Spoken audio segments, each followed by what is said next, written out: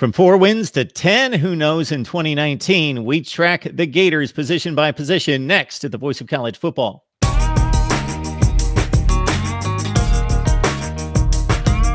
And uh, we'll go to the defensive line. And uh, Todd Grantham uh, looking good in the pocketbook these days with a $300,000 raise. One of the reasons why uh, Jachai Polite uh, with a huge season, almost 20 tackles for loss and 11 sacks, but he's gone. Uh, even through the rough seasons that we've seen four and eight a couple years ago, the defense has generally uh, been either exceptional or at least competent. And, and one of the reasons why uh, the front seven on defense and uh, set us up for 2019.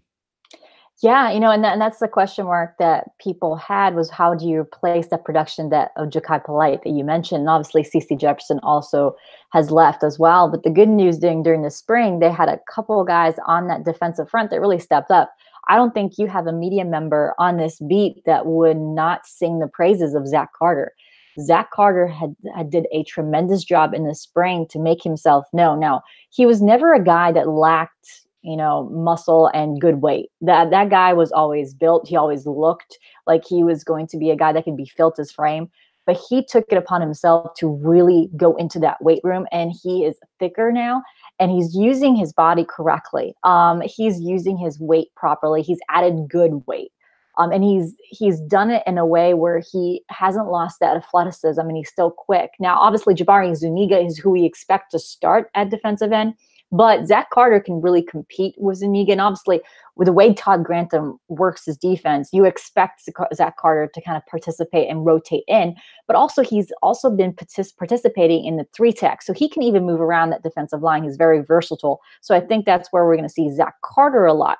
Now, when it comes to the buck position, I think that's something where I think the I think the battle is a little um, undecided, although I think Jonathan Greenard will be the guy who will take up that position first. Um, before the season, before the, the, spring season, we thought that maybe Jeremiah Moon will be the starter, but then Jeremiah Moon broke his foot during winter workouts, so he did not participate in spring. He was in the boot for most of the spring. He couldn't participate, and um, so we couldn't see how the defense would look with Jeremiah Moon as a starter. That was Jonathan Greenard. So it's going to be between Moon and Greenard as first. And obviously, again, they can probably rotate in. But as far as the other guys there in that position, that if people were wondering, you got Mohamed Diabate. He's a true freshman.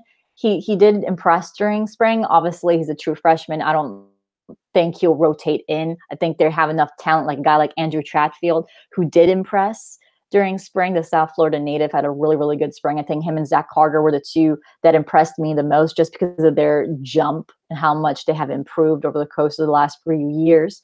Um, so when you have guys like that, I think Florida should be confident that they have the depth at the defensive line. Um, and honestly, the way that the staff kind of works is that they try to put the most the most athletic players on the team out there no, for example, we saw that on the offense when Kyle Pitts was moved from tight end to wide receiver. They just needed to put him out there. And I think that's what we're seeing on the defensive front as well. You've got guys like Zach Carter that can move inside or outside. So you're going to put the best players on the field. And I think they have a lot of versatile guys on that defense, which is very exciting for them.